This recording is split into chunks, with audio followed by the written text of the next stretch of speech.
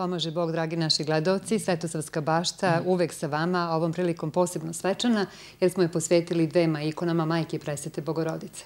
Da bismo se koliko toliko udostojili, mada je najlakše ćutati e, i tihovati, da govorimo o njima, zamolili smo najpre za blagoslove e, našeg vladiku, preosjećenog doktora Davida Perovića, sekretara eparhije i našeg gosta, arhimandrita Alekseja Bogićevića, blagoslovite oče i dobro nam došli u Svetosavsku baštu. Bog da blagoslovi sve vas i sve one koji nas gledaju i slušaju i bolje vas našao. Ja već kao da ne izlazim iz ovog studija, verujem da je to i dobro. Ako Neka tako osjećaj, i ostane, da budemo zajedno u dobro. Ako je to na utehu svih nas, na moju utehu svakako jeste. E, ideja je da ono što ste vi videli i što nosite sobom, e, prenesete i na druge. E, dar i uzdarje idu zajedno i ovom prilikom ste najlepše ikone iz našeg zajedničkog manastira na čijem ste čelu više od jedne decenije, Bogu hvala. E, prosto ste doneli e, te najlepše ikone i u naš studio. Mi smo vam zato blagodarni u ime naše kuće, direktora, uredništva i svih radnika, trudbenika, televizije koja je osnovana na Vidovdan 91. U ime svih gledalaca bašte i svih koji podržavaju Svetosavsku baštu, ja vam zahvaljujem i molim da nam pomognete da objasnimo značaj ovih ikona i uopšte značaj e, litijski nošenja ikona kroz Rusiju, Carsku, kroz Srbiju, kroz Sav, kroz svu Vaseljenu. Pa i red je da ikone koje su u crkvama gde se bogosluži, gde je punota, punoća blagodati, blagodatnog stanja, da se ponekad iznose, da budu u narodu i to nije ništa novo. Ta je tradicija, ako ne sad bila, ranije u Srbiji, u Rusiji je bila jedno vreme je prekinuta u doba bolševizma, sada je ponovo nastala da se ikone litijski nose iz mesta u mesto, iz kuću u kuću. Ako neko bolestan, sa molebnom donosili su taj dom, ikone se polagale na bolesnika. To je to prenošenje blagoslova i blagodati i po veri, naravno, po meri vere onoga koji priziva blagodat presvete bogorodici, ikone koje se donosi, dobija olakšanje, dobija pomoć. Eto, to je smisao ovih ikona koji su sad ovde došle. Da bude blagoslov i ovom studiju i da bude blagoslov Majke Božije i na, na svima onima koji nas gledaju, a i na onima koji iz opravdanih razloga ne mogu da nas gledaju. Hvala vam u ime svih. E, evo, naša koleginica Vesna Nikolić se potrudila da naši gledalci vide o kojim ikonama je reč. E, za sam početak emisije ja vas molim da pojasnimo e, izuzetna istorija E, obe ove ikone koje ste vi doneli, Vladimirske i Iverske, e, pa da nam ukratko samo kažete kako su one stigle do manastira, a onda ćemo otvoriti priču laganu po dogovoru. Da. Evo sada vidimo Vladimirsku ikonu. Ona je sada i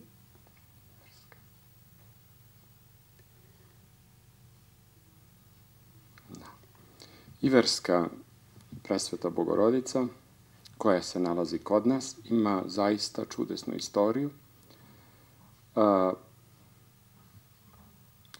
Sa mnom je ta ikona dobrih 25 godina.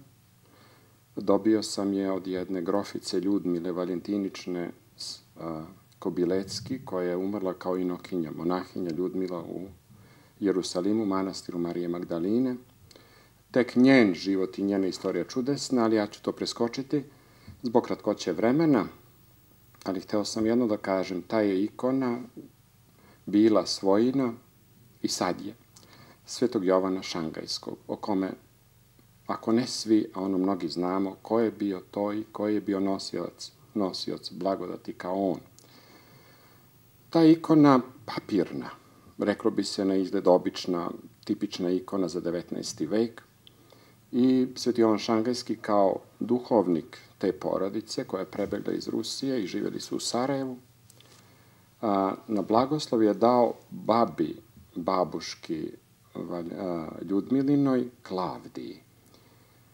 I kada je jednog dana Ljudmila posekla prst kao devojčica, potpuno, o tome smo još jednom govorili, to je snimljeno, ali da se podsjetimo, taj je prst izlečen i potpuno sastavljen, ostaje samo kao jedan crveni šav, zahvaljujući presvetoj bogorodici Iverskoj, jer ona je prespavala celu noć baš na ovoj ikoni.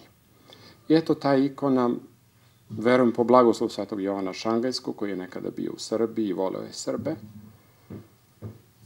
i do kraja nam je bio odan, da je ta ikona eto ostala u Srbiji zahvaljujući njemu i grofici, odnosno monahinji Ljudmili Kobilecki Valentiničnoj.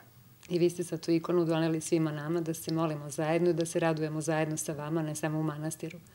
Kako da ne, ikona stoji u našoj crkvi uramljena, već je to 11 godina koliko smo mi naše bratstvo u tom manastiru stoji pored ikone carevića novomučenika, mirotočive ikone i svetog cara Lazara kao ktitora crkve. To je jedan kuta koji mene podsjeća na Jerusalim. jerusalimske dane, sigurno, i eto, kad mi nije baš neki put sve kako treba, ja se nekako dovučem do tih ikona i nađem utehu. E, ikona na stolu je Vladimirska ikona i ona je posebno važna u vašem životu i u manastiru. Da. Pa, od samog početka 2002. godine, naš manastir, svi znamo da je a, počeo tada da se obnavlja, nismo imali čestito ni ikone, izuzev nekih, kako ih ja nazivam, pijačnih, one koje se prodaju bilo kako. 2003. godine, 3. juna, a, sa dobročinstvom kao duhovne grupe bio sam u Moskvi i u Tretjakovskoj galeriji, ne znajući da ćemo tamo da se poklonimo Vladimirskoj ikoni presvete Bogorodice, tačnije njenom originalu, i da je to njen dan 3. jun. Tako da smo se poklonili njoj i tad sam zaželeo da ta ikona bude, odnosno kopija te ikone u našem manastiru, da bude naša zaštitnica. I 6. jula iste godine na njen drugi dan, drugi praznik, ikona Vladimirske bogorodice, velika, došla je u naš manastir i danas krasi našu crkvu i njoj se obraćamo. A ova mala ikona, to sam ja donao onda iz Rusije, baš iz te crkve Svetog Nikole, gde se ona čuva i eto, celivamo je stalno. Hvala vam, oče. Sve vreme je naša koleginica Vesna pratila vašu priču. A sada po dogovoru i prema sinopsisu naše emisije da pogledamo prilog, ako se slažete, obilazak Kremlja sa putovanje, putovanja Rusijom 2013. godine u junu mesecu.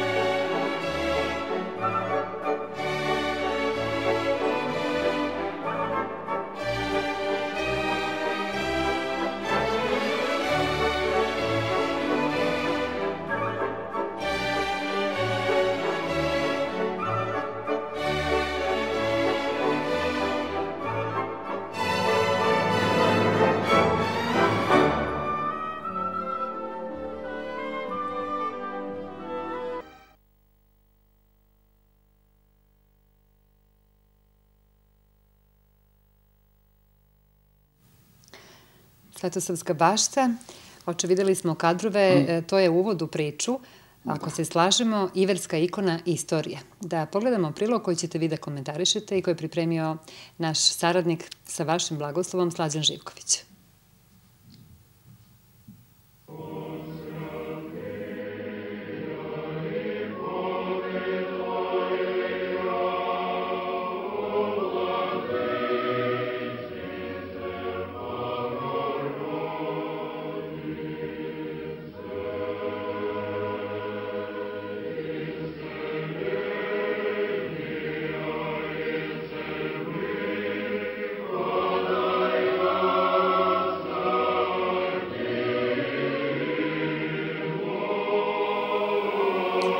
Oče Igumane, blagoslovite još jednom i da čujemo istoriju ove prekrasne ikone Iberske. Zaista prekrasna. To je Portaitisa, ikona ili vratarica. Bila je po predanju crkve na dvoru carskom u Carigradu. U osmom veku, vreme gonjenja ikona od ikonoboraca, ikona se obrela kod jedne udovice nedaleko od Nikeje. I kada su vojnici došli da pretražuju one koji poštuju ikone, došli su do te udovice. I kad su ušli kod nje, videli ikone, jedan od vojnika je probao mačem lice presvete bogorodice i počela je da teče krv. I to je tog vojnika prosto frapiralo, da je pao na koljena i pokajao se. Udovica se uplašila da, tu ikon, da ta ikona ipak ne strada i jednostavno ju je spustila u more da ide kud hoće. I to je trajalo dugo, u 12. veku, kod manastira Ivirona, gruzinskog manastira, koji više nije gruzinski, jer nije bilo gruzinskih monaha, ikona se pojavila nadalog manastira u moru. Prvo se pojavila svetost, kako smo pre videli, zatim ikona i javila se presveta Bogorodica da samo starac Gavrilo može da dođe da je uzme, tako da su sa litijom sačekali ikonu dok je Gavrilo po moru hodio i prenuo je u manastir. Ona se i dalje naziva Portaitisom jer čuva bukvalno ona u crkvi pored kapije manastira i Virona. U vreme cara Alekseja Mihajlovića Romanova 1648. godine i na njegovu molbu, verna kopija istih dimenzija doneta je u Moskvu iz manastira Ivirona kao blagoslov. Tu je ikonu car postavio prvo uspenski hram Kremlja, to je saborni hram gde su krunisani carevi. Zatim je bila u privatnoj, to jest u kapeli dvorskoj carice Marije Ilinične neko kraće vreme.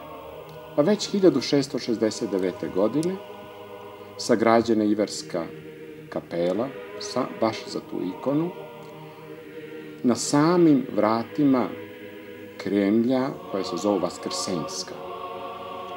To je čudesna, imala je ta, ta kapela, Iverska, bila je mnogo važna. U to vreme već, znači za kratko vreme, u celoj Rusiji je ova ikona bila poštovana. Kroz, to, kroz ta vrata a, ulazila je i izlazila carska porodica. Sve do odlaska u Petrograd.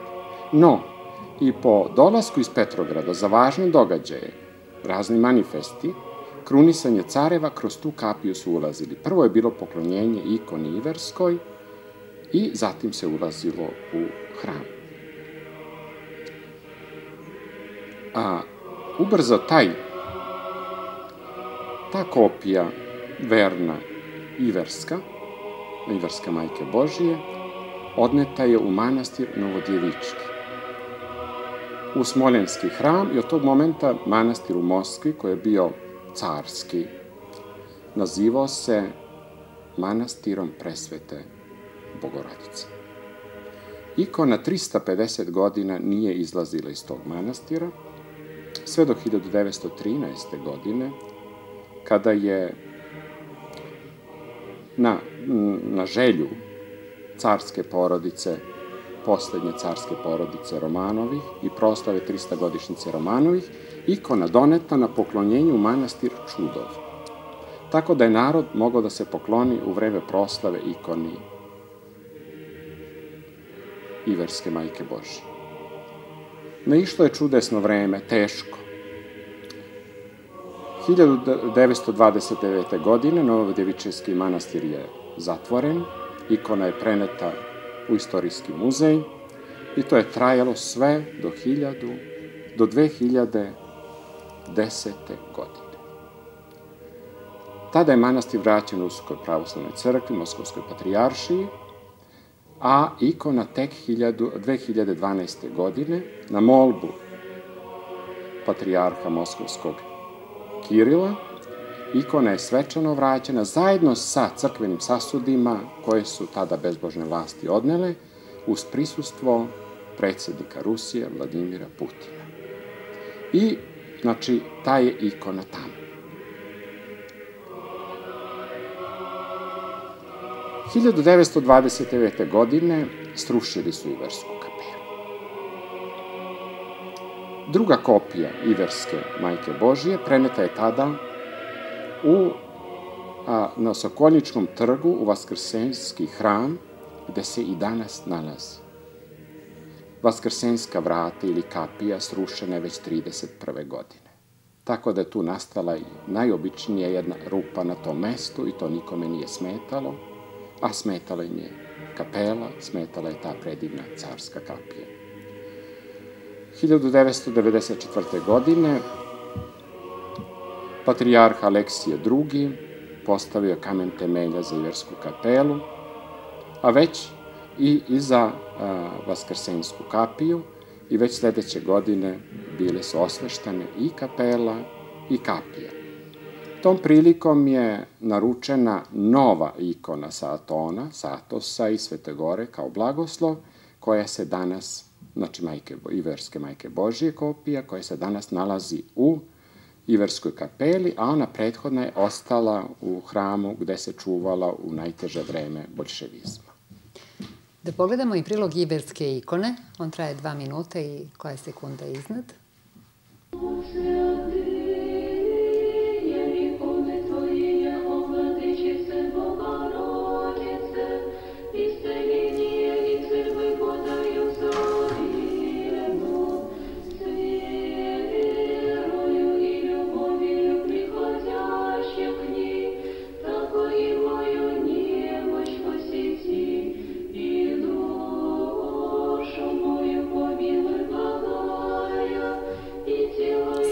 blagoslovom oče igumane da čujemo još o da. ikoni Iverskoj. U vreme cara Mihajla, cara Aleksija Mihajlovića, patrijarh Nikon čuveni, naručio je jednu opet kopiju istih dimenzija kao što je original, Majke Božje Iverske Satosa. I tu je ikonu poklonio u Valdajski Iverski manastir. Ona je predivno ukrašena, imala je okov neki basnoslovno skup, međutim, 30. godina manastir je zatvoren, monaštvo pobijeno, okov nestao, kao i sama ikona i njoj se gubi trag. A što se tiče ikone a, Iverske koja se nalazila u Iverskoj kapeli, interesantno je to što ona pozadi imala dve alke, što je bio znak da je ona nošena po domovima. Toliko je bilo poštovanje da je svaki pobožni moskovljanin želeo da je ima bar jednu noć u svojoj kući. Tako da je ona nošena i time su udovoljavane molitvene želje moskovljanja pravoslavnih. To je što se tiče ikone Iverske, koja je i kod nas, a koja je i, i danas u Rusiji. Tako da ima neka veza, mora da se prizna. Tako da blagoslov Atosa, blagoslov i Verona, počiva i na nama, i na Rusima, i na Iveriji, a to je danas Gruzija, kako kažu sveti oci, da je to deo majke Božije, baš iverske, zato se zove iverska, bukvalno kad se prevede je gruzinska. Evo nas opet u studiju i polako učimo sa blagoslovom Svetog Luke da uz ikonu cveće ide i dobre želje. Imamo još jedan prilog manastir Iviron, Sveta Gora, da, bismo podkrepili i snimcima ovu divnu priču i vaše blagoslove. Dakle, prilog.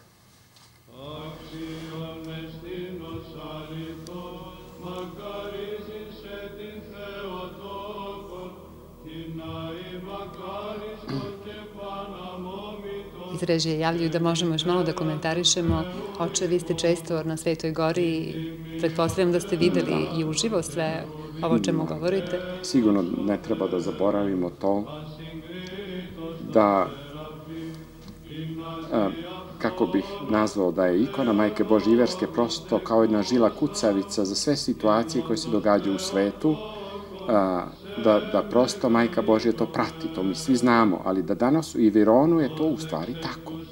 Da je dužnost vratara, dužnost crkvenjaka da prati njene promene. Šta se tu događa? Ima jedno kandilo pred njom koji u važne momente se okreće u krug. Na Vaskrs to radi redovno i tad nikak to ne, ne pridaju tome neki veliki, ne pridaju tome veliki značaj, tom obrtanju u krug kandilu, a, to je blagoslov Majke Bože i veliki je praznik. Međutim, ima kad i drugih a, danima to se događa. Kada je bio, kad su Turci zauzeli Kipar, toliko se pokretalo kandilu da je a, ulje počelo da je pada iz kandila. Kada sam ja eto imao sreću da budem u Kareji u vreme pokojno vladike Hrizostoma Žičko, koji je tada bio protos 84. godine, a, znam da je pozvan ceo protat, znači svi predstavnici 20, 20 manastira i sam protos da siđu u manastir. A koji je bio povod? Zato što se nekoliko dana kandilo vrtelo u krug i jednostavno uplašilo se bratstvo šta se to događa. Tako da je sišao protat ceo da vrše molivan pred presvetom Bogorodicom. A, zemljotres čuveni kad je bio, ona je propratila. I u Turskoj kada je bio posle bombardovanja našeg, našeg, dobro sam rekao, 99. godine, tada isto ona dala svoje znake i uglavnom stalno ona daje svoje znake, a povezana je i za drugi dolazak Antihristov, kada Sveta Gora ne bi trebalo da i neće da bude pod nogom Antihrista, nego će se potopiti. Dužnost je crkvenjaka da svako jutro gleda da li je ona na svom mestu.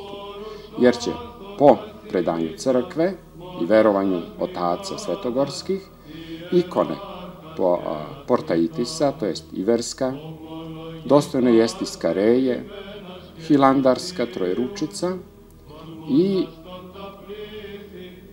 a, ikona iz Dohijara presvete Bogorodice, ekonomitisa, kako se već drugačije zove, znači koja brine o ekonomiji manastira, bukvalno, da će nestati i Svete Gore. Eto, to je briga crkvenjaka i to je, prosto sam osetio potrebu da vežem to proročanstvo i to očekivanje monaha za poslednje vremena koje su vezane prvenstveno za Iversku majku Božju koja se nalazi da u Iveronu u starom tom manastiru. Sve smo povezali, sve ste povezali, Srbiju, Rusiju, Svetu Goru. Koja bi naša želja bila budući da u knjigama svetim stoji da se majci presvetoj Bogorodici Ivirskoj obraćamo za zaštitu doma i za sve nedoumice koje bi naša molitvena želja u ovom trenutku bila očepa da posvetimo drugi deo emisije Vladimirskoj? Pa, eto ja ono što je napomenu, da je da je u Moskvi nošena ikona Majke Božije Iverske, kao što i u peći, pećka bogorodica, ceo veliki post nošena iz kuće u kuću do cveti, ne znam za druge ikone i ne mogu da kažem, da a, da prosto, s obzirom da tako jedino može da se blagoslovi dom, ako mi imamo pre svega u srcu Majku Božju, a zatim da imamo i njenu ikonu i da joj se obraćamo i samo po sebi, zar će Majka Bože da ostavi na naše molitve, iako nekad šture, da li će ostaviti dom i porodicu, verujem da neće. Dakle, i mi koji možda nismo u detinstvu učili veronauku, ako se od srca obratimo presvetoj bogorodici, možemo se nadati dobro. Sigurno, sigurno. Veronauka je da nam ponešto objasni, ali srce prihvata sasvim na drugi način.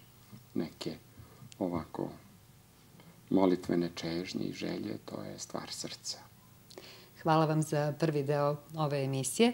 U drugom delu imamo obilazak Vladimira Priloga.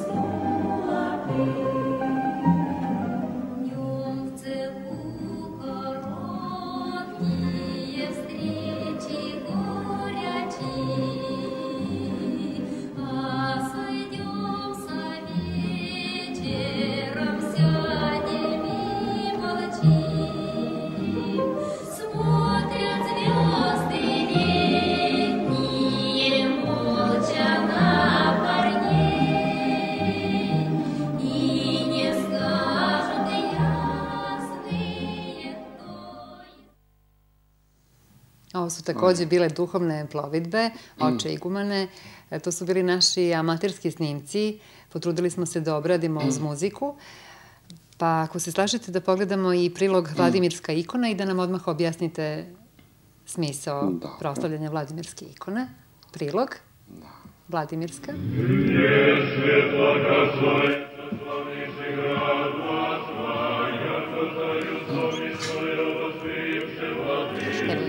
javljaju, javljaju iz režije da možemo da komentarišemo da. ikonu Vladimirsku.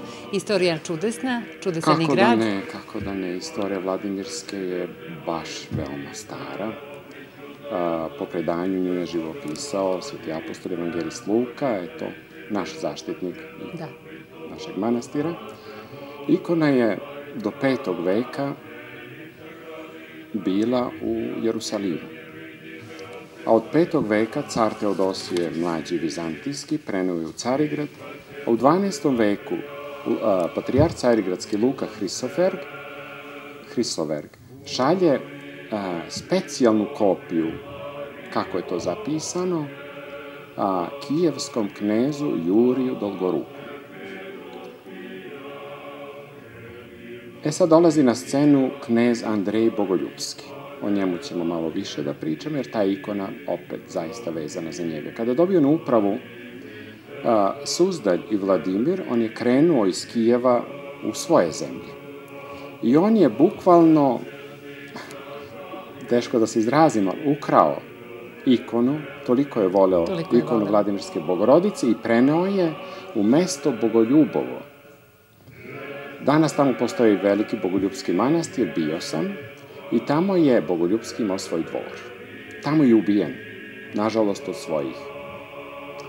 Bio je blagorodan knez, molio se ikoni presvete Bogorodice Vladimirske i za nju je sagradio Uspenski sabor, odnosno katedralni hram u samom Vladimiru i posle dve godine iz Bogoljubove preneta u Vladimirski hram. I od tada počinje da se ona zove Vladimirskom.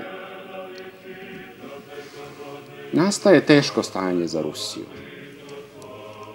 1237. godine tatarski han Bataj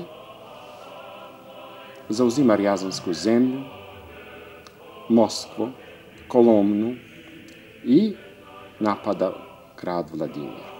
7. februara zauzeo je grad.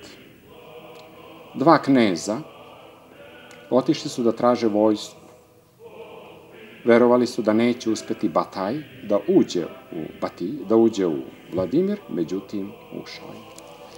Kneževa porodica sa episkopom Mitrofanom zatvorila se u crkvu.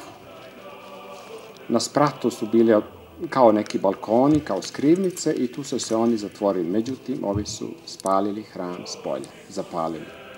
Kad su videli koliko je sati, Mitrofan je zamonašio žene kneževe, ova, ova kneza, bojarske žene, Tatari su prodali u hram, ko nije ugušen dimom i vatrom, taj je ubijen mačem.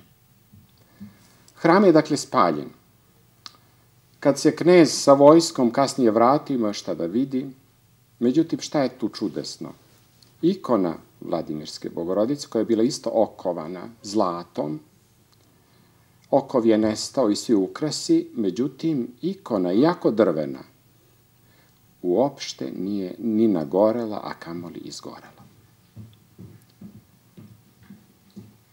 Nešto kasnije, 14. u 14. veku, a to je vreme despota Stefana kod nas, kad još kod nas vlada izvesna sloboda, jako je vazalni odnos, njima Tatari zadaju velike muke i kako se jedan ruski istoričar izrazio, da je na ruski točak za 200 godina vraćen unazad, zahvaljujući tatarskim hordama.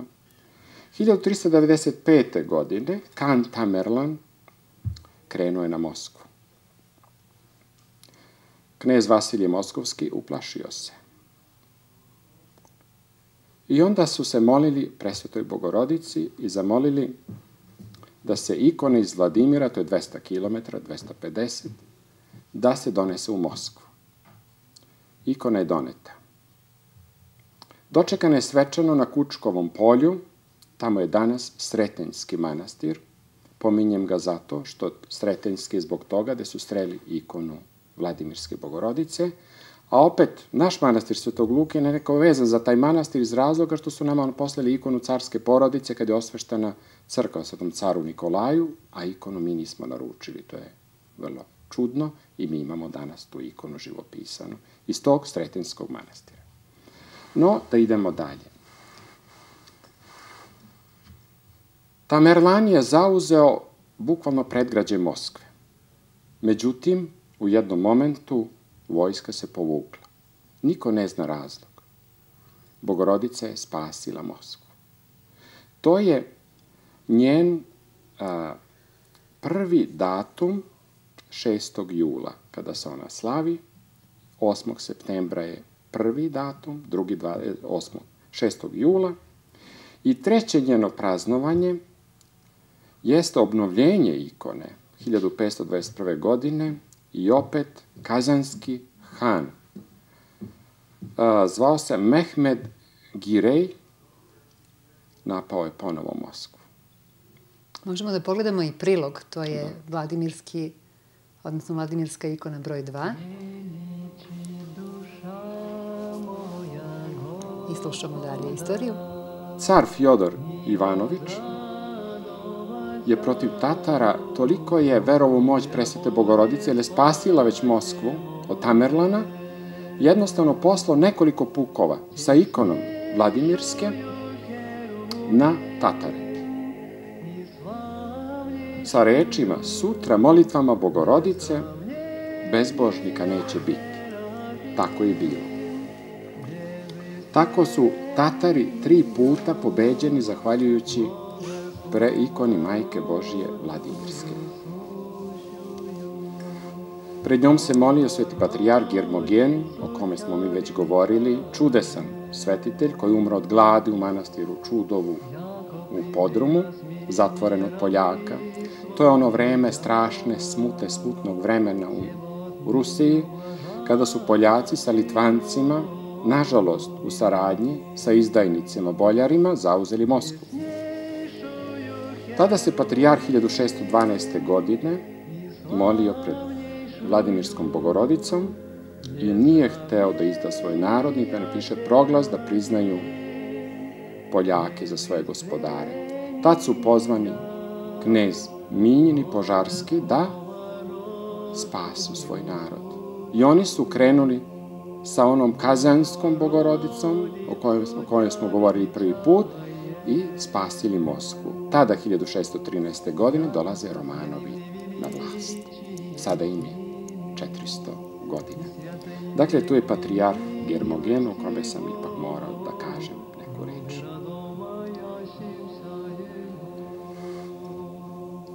Ikona Vladimirske majke Božije bila je u Spenskom sabornom hramu u Kremlju koji je podigao car Ivan Grozni, u kome su se svi važni događaji izbivali.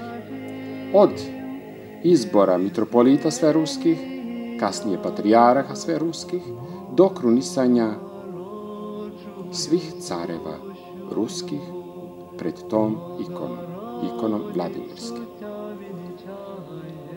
Kada je Kremlj zatvoren za narod, zatvorene su i crkve, Uspenska, Arhangelska, Blagoveštenska, dakle sve te carske crkve su zatvorene, ikona je po prvi put preneta, dakle iz 14. veka, preneta u Tretjakovsku galeriju i danas se nalazi tamo.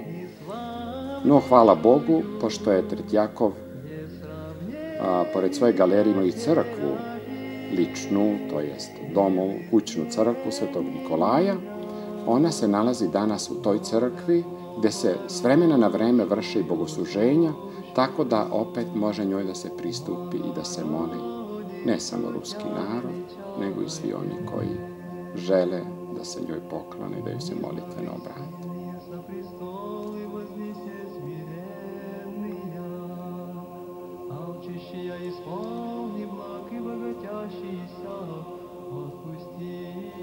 Bilo je dirljivo sa vama obići grad Vladimir, koji je interesantna turistička destinacija, istorijski grad, spomenici, odnosno sve crkve su žive, ali prosto su pod zaštitom UNESCO, tako stoji u knjigama. Ali baš susret sa ikonom Bogorodice, Vladimirske tamo i mi kao svedoci, prosto je zaista bilo veličanstveno, dužna sam da to prenesem kao utisak. Pa jeste, to je uvek neponovljivo. Iako meni to nije prvi put. Uvek je neponovljivo, uvek imam osjećaj da se ja nalazim na izvoru. Na izvoru gde mogu da se napijem vode, netaknute, čiste, izvorske. I to nekako da čoveku snagu za sve nedaće iskušenja koje nekad sami izazovemo, a nekad mu se nametnu. I to daje snagu zaista meni dan danas. Ona nekako toplina lika Majke Božije, pomalo tužnog, kao što vidite, vjerojatno zbog naših grehova, a u isto vreme ta toplina, mirnoća daje čoveku snage da se obrati onako svim srcem i kad se osjeća grešnim i, i pokajanim, uvek ima neku slobodu da joj se obrati, a ona nas uvek sluša kao majka. Pri kraju emisije mi uvek pitamo duhovna pouka, knjiga koju biste preporučili za čitanje, e, da li da čitamo sa vašim blagoslovom i ruske bajke, Pa zašto da ne? Ja sam, ja volim da ih čitam. volim da čitam i malog princa, volim i bajke. Doduše sa manje vremena imam. E, preporučio bi braći i sestrama koji nas slušaju, i malima, i velikima, i deci, i odraslima, da pročitaju malo te, ima novih knjiga predivnih iz Rusije koje dolaze, i o ikonama, i o pomoći tih ikona, molitvene pomoći. I oni koji mogu, zašto ne pročitaju ruske klasike, predivne Čehova pročitati. Zaista onda će osetiti tu toplinu Rusije. Nije ni tamo sve sjajno, imaju oni svoji teškoće, ali su dokazali da u vreme ovog bezboštva, koje su oni mnogo duže i teže nosili nego mi. Mi smo se, zahvaljujući njima, uspeli na vreme nekako da se moralno pripremimo za zlo koje je dolazilo 20 godina kasnije. Oni su dali takvi kakvi su bezbroj mučenika. Istrajali u veri. I eto, oni su se poput Feniksa prosto vaskrsnuli, vidite, ja 86. godine sam video par crkava dejstvujušći, kako oni kažu, otvorenih za narod. Sve je bilo pod skelama ili srušeno. A sada, kad dođe čovek, prosto se zaboravi šta je to bilo, da li uopšte bilo nešto, neko zlo između. Prosto su očišćeni kao zlato na vatri. Eto, ima šta da se vidi ko može, ima šta da čuje i šta da pročita. I cilj ovaj naše okupljanja ovde oko ekrana jeste taj da um, da nekako malo damo utehe našem narodu. To je u stvari glavni cilj. Da imamo svi utehu. Utehu i molitvenu zaštitu presvete Bogorodice, Iverske, Vladimirske, Kajzanske, bilo reči, Fjodorovske, Tihvinske, pa nek bude i Pećka i Trojeručica, bit će o njoj reči ako Bog da ka nam dođe i tako. Uglavnom, da nas presveta Bogorodica štiti. Ona je naša majka. I da opravdamo naziv ovog serijala Carska Rusija, da zablagodarimo svim našim svetim predcima i ruskim i srpskim i svima svetima. Apsolutno. Kako? Ako smo nezahvalni u malom, kako ćemo biti zahvalni u nečem većem? Zaista treba da budemo blagodarni. Pogotovo pre svega našim precima, jer su oni bili u kontaktu sa ruskim ocima, sa ruskim carevima, još mnogo pre nego što smo se mi rodili. I ta je veza uvek trajala i bila uvek topla sa njima. Osećali smo da smo jednoverni, da smo braća. I to se uvek pokazalo kao tačno, bez obzira što mi nekad mislimo da nije tako, u stvari jeste. To je još Sveti Sava znao. Pa Sveti car Lazar je znao, pa naši oci, ja kao dečanski monah znam da su išli igumani u Rusiju da prose, da traže i davano im je. Zaista to, to je davano od srca. I to se i danas čuva i kako da se zaboravi tako. Unad da ćemo uskoro pročitati vaše dečanske priče, novu knjigu koja je u pripremi. Ja vam se zahvaljujem za ovu baštu. I ja se zahvaljujem, odnosno blagodari, to je malo puniji izraz, pa da se vidimo, ako Bog da, opet i ovde i u manastiru Svetog Luke. Amin Bože da i hvala i vama, poštovani gledalci, do naredne bašte, s Bogom i prijatno.